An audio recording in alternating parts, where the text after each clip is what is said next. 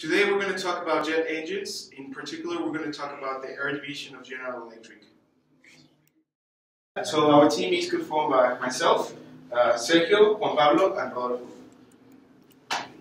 So in today's agenda, we will discuss uh, the air division background of General Electric, a little bit of the history. Then we'll speak about the operating environment of the company, what, what is the external and internal environment, and we'll get to the discussion of conclusion and conclusions of the of the presentation. Well, we will start with the initial ages of General Electrics on the jets uh, industry, and we'll continue. The history starts at the First War, uh, First World War, and it was by the United States looking for a, an, a company that, that introduced uh, technology for for for develop the first company engine buster. So we have that. We know that General Electric start like uh, um, searching for technology, but also another company uh, searching for for the same technology. So we got the first military aircraft competition. The both companies started uh, taking several um, um, groups, and then the army called for a demonstration. In, on the demonstration, uh, General Electric got 350 horsepower turbo supercharged aircraft, and that was the like a super turbo. So they gave them the, the first aviation government contract. That was initial for General Electric, Electric to transform the world and creating like a very huge amounts of, of, of, of turbojets. Uh, on the history, General Electric get some alliance for example, with CFM. And with this, General Electric transformed the, the industry not only on, on military, uh, also in, in civil market, so they can afford like uh, commercial flights and, and, and more, more huge. And with the alliance with Pratt and White and Whitney, they get like the maintenance of the turbo uh, of the turbo and the, and the parts of, of Electric produce, so that, that this company can can maintain all the products that General Electric um, they, they make. Today, we're going to talk to you about the external environment of jet engine manufacturing from General Electric. My partner Juan Pablo is going to explain to you how regulation works. In the airplane industry, there's a lot of regulation that should be passed in order to provide the service in a commercial or military way. The three main associations that regulate the use of the aircraft are the, in Europe, the European Aviation Safety Agency, in the US, the Federal Aviation Administration, and in an international way, the International Civil Aviation Organization. That is the one who tells the rules to the other ones. The five main purposes of, of the ICAO are the operational safety, that is to make all the planes safe to use for people the air navigation capacity and efficiency, that is how the planes work in all the world. They manage around uh, 100,000 flights a day. The security and facilitation, that is the security of all the planes, to check if every part of the planes work correctly. The economic development, that is to check if all the, all the service providers manage the same amounts of costs and, and utilities and the environmental protection that is the, to check that the emissions that all the planes takes are not affecting the environment. Okay. So the next slide we're going to speak about the economy. So quite recently we can see that the the main main jet engine manufacturers and airlines are having extreme profits. And this is good because it means that their uh, net cash flow which is available, they have been investigating according to PricewaterhouseCoopers in new developments for new technology to be less disruptive with the, with the environment. Uh, please, the next slide. So how are we in terms of global competition? Well, first thing we can observe in this map is that the jet engine manufacturers are mainly clustered in the United States, Europe, and Asia. And General Electric, General Electric is mainly United States and Asia. However, with its joint ventures with Pratt and Whitney, it has access to the European cluster manufacturers. So basically, General Electric has presence around all the globe in the main clusters of manufacturing. And then if we look at the percentage of market share that they own, they don't actually by themselves have a lot. They only have between 9% of market share. However, if we look at the joint ventures that they have with Pratt Whitney and other companies, they almost account for 80% of the market share for jet engines. So, so in a few words, General Electric has a great degree of control of the market. So how do they meet customer expectations and who drives uh, the customer needs to the manufacturer?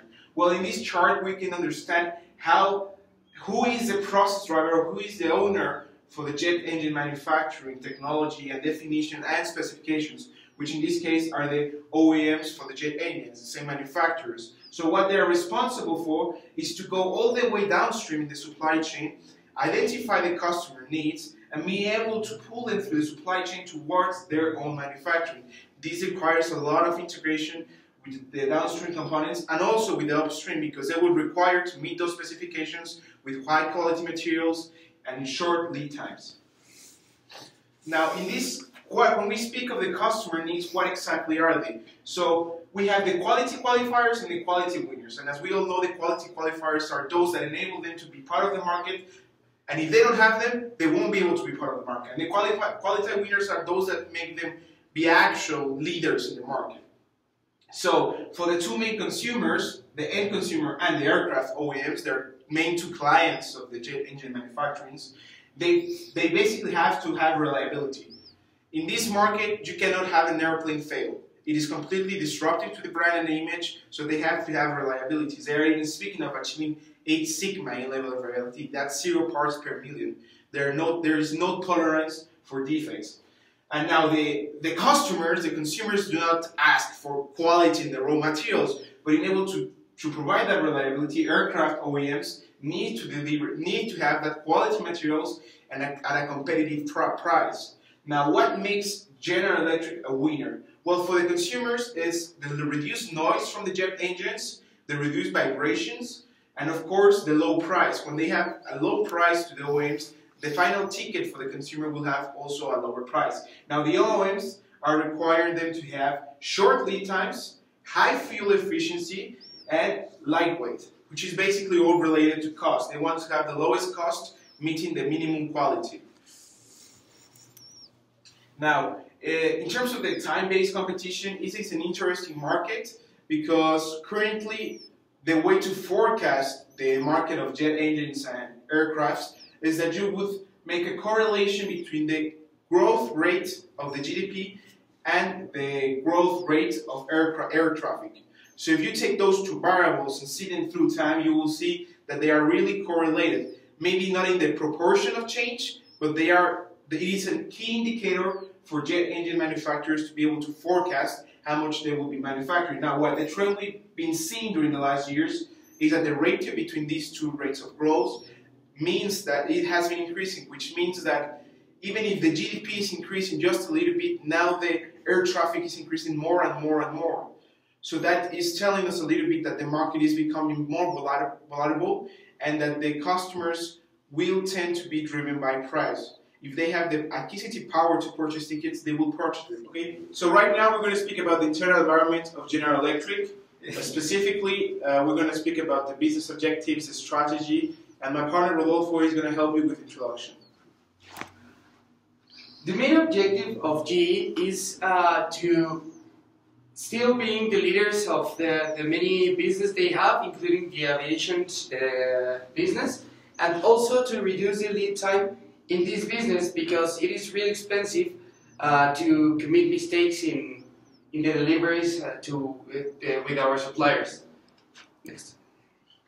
Uh, our business strategy is uh, based in this term called Brilliant Factories, uh, brilliant factories means that they have uh, two main um, uh, points. Yeah, it is uh, the additive manufacturing and the lean manufacturing, and it is all about uh, having new systems to control and analyze all the process to make more efficient every uh, single part of, of the total process and also to have automo uh, automotive uh, automotive uh, process because uh, it is um, more efficient than having human uh, doing the assemblies because we're, we're not totally perfect.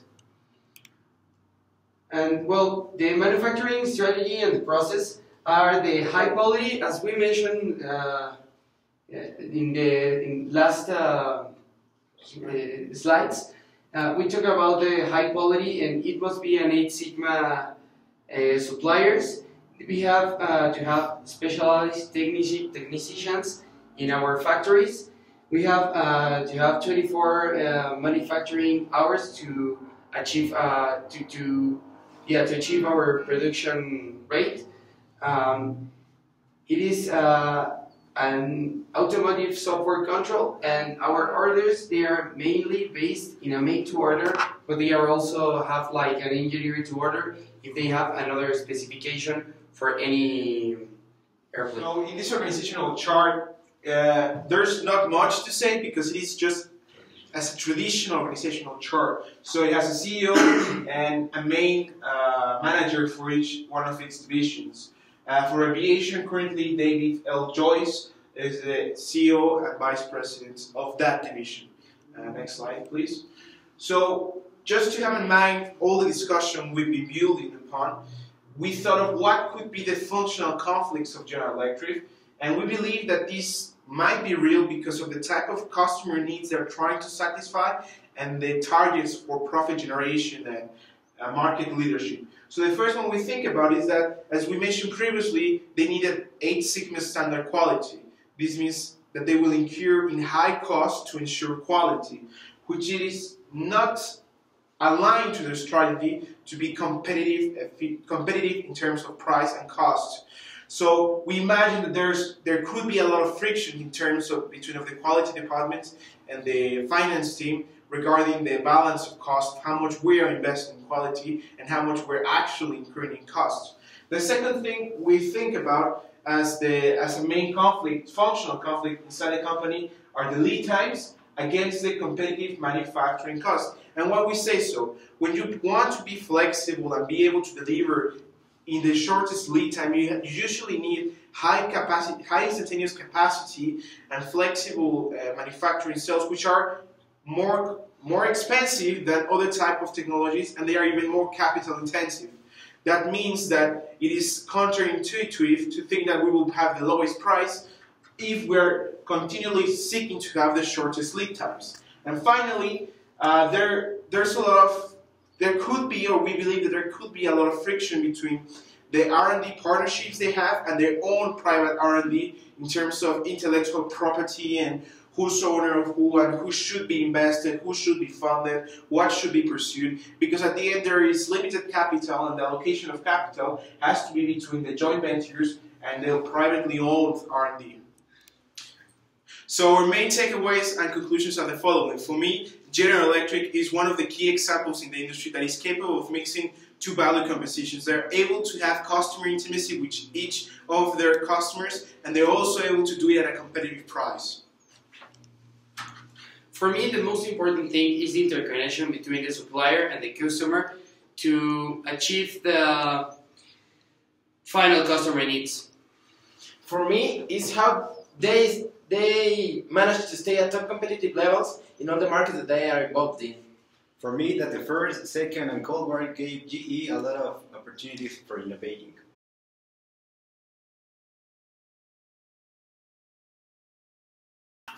So this has been the presentation of General Electric. Thank you very much for your attention. Thank, Thank you. you.